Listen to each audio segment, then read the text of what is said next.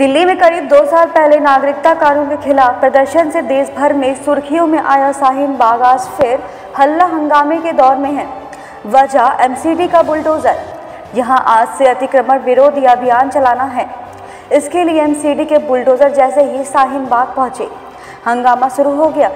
कार्रवाई के विरोध में लोग बुलडोजरों के सामने लेट गए। कुछ जगहों पर लोग सड़कों पर ही धरने पर बैठ गए।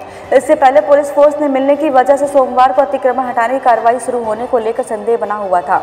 लेकिन करीब साढ़े दस बजे दिल्ली पुलिस ने फोर्स मुहैया कराने पर रजामंदी दे दी और 11 बजे के लगभग एमसीडी के बुलडोजर शाहीन बाग की मुख्य सड़कों पर पहुँच गई। दिल्ली पुलिस से फोर्स मिलने के बाद दक्षिण दिल्ली एमसीडी ने अगले पाँच दिनों तक अतिक्रमण हटाने का अभियान चलाने की तैयारी पूरी कर ली।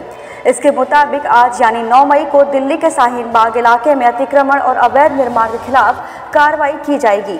इससे पहले जहांगीरपुरी में हनुमान जयंती के दिन हुई हिंसा के बाद वहाँ भी बुलडोजर से अतिक्रमण हटाया गया था। हालाँकि तब कार्रवाई बहुत ज़्यादा लंबी नहीं चल सकी थी, क्योंकि इस पर सुप्रीम कोर्ट का निर्देश आ गया था। कोर्ट ने फ़िलहाल जहांगीरपुरी में अतिक्रमण हटाने की कार्रवाई पर स्टे लगाया है। ब्यूरो रिपोर्ट आई